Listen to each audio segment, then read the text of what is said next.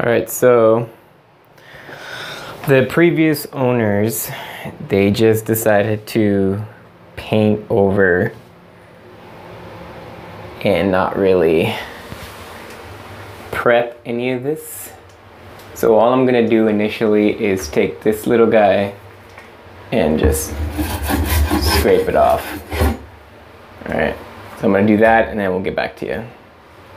Okay, so I have scraped down some of the parts that were just peeling right off. This side was fucking just coming right up because it was right next to the shower and the water was just, just totally destroying it. So I just uh, took the scraper, scraped it off. I've got this sander here, I bought this like 40 bucks at Home Depot. I'm gonna start off with like about a 150 grit and I'm about to go on to about a 220 grit to sand it down.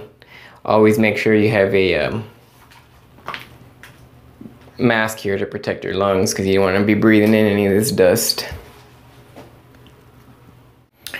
Alright guys, I sanded down the cabinet with the like between 80 and 220 grit. I'm just starting to do the corners right now with new paint. Um, we'll see how it goes.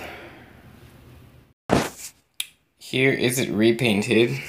It's not perfect. I'm gonna have to go over it again, but the most part didn't come out too bad.